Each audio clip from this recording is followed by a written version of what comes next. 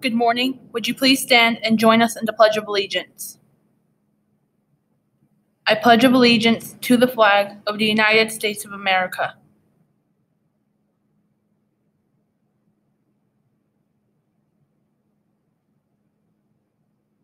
Would you please remain standing for a moment of silence?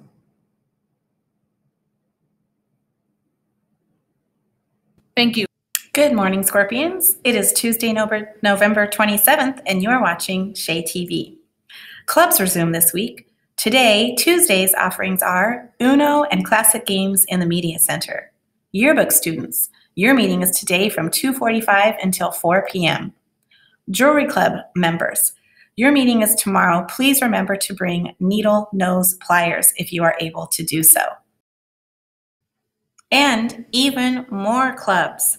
Tomorrow is Wednesday, and the offerings for tomorrow's clubs are Jewelry Club in the Media Center, Do the Math with Mr. Runyon in room 811, Photography with Mrs. Erickson in room 801, Garden Club with Mrs. Mitchell in room 106, Theater Club in room 201 with Miss Peters and Mr. Boyette.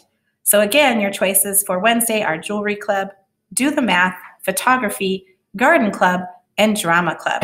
We've got this posted in the Media Center and we have flyers for you to take home if you need more information. So, Media Center. The genre of the month is historical fiction. November ends on this Friday, so if you want your chance to earn your candy bar, be sure to get in your 85% or better AR tickets to the Media Center. Events on campus. Come and see the NVAA Dance Company's best work tomorrow night at this year's fall performance, Art in Motion. The show is tomorrow night, November 28th at 7 p.m. in the Performing Arts Center. Tickets are $5 for adults, and students with their student ID are free. Calling all 7th and 8th graders. Looking to join a new club next year? NVAA Dance is holding auditions on November 29th from 4 to 7 in the Performing Arts Center. Check-in starts right at 3:45. If you are interested in hip hop, jazz, contemporary, or ballet, join the dance company. Frost. Do you need some extra help with your studies? Frost is a free tutoring program and it's free and available every day, Monday through Thursday from 4 to 6 p.m. Pick up a flyer from the Media Center or see any teacher to get more information. Shea Lanyards. We are now offering Shea Lanyards. They are on sale for $2 in the front office. Next up is Students of the Week.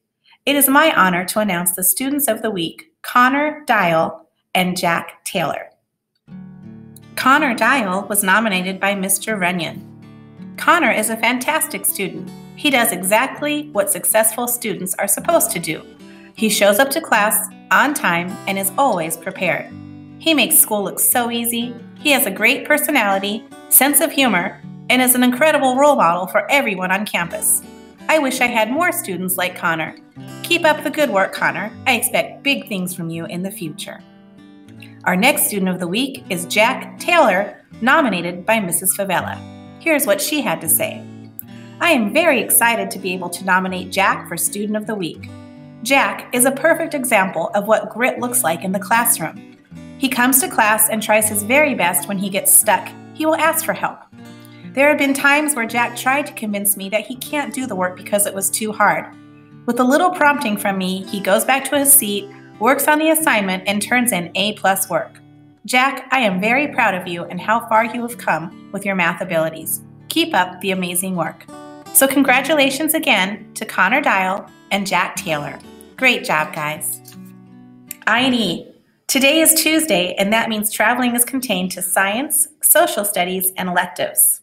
All right, it's time for our lunch choices glazed chicken drumstick with wheat roll, a cheeseburger, and a sandwich pack.